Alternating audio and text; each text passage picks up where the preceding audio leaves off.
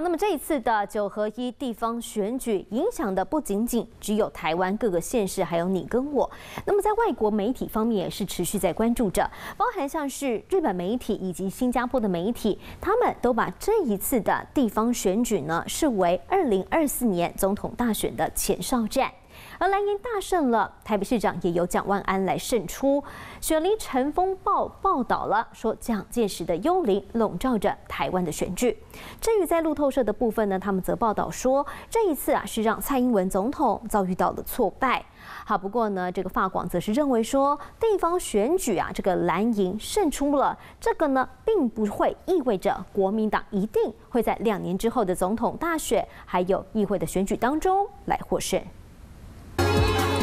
4年に１度開かれる台湾の統一地方選挙では台北などの市長選に加え各都市の地方議員などおよそ1万1000人以上が改選の対象となります。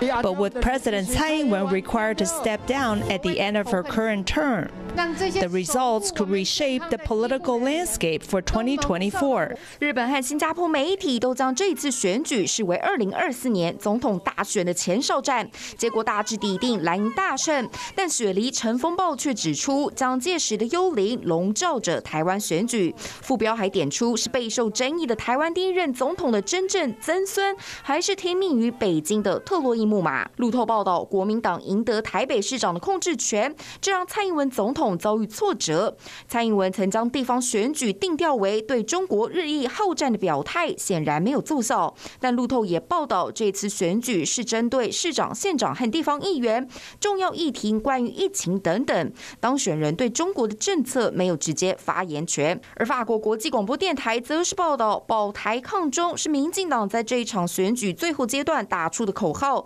但选民感兴趣的是候选人的证件。法广也点出，这次投票不是针对中国的全民公决，所以不代表国民党一定会在两年后的总统和议会选举中获胜。华视新闻综合报道。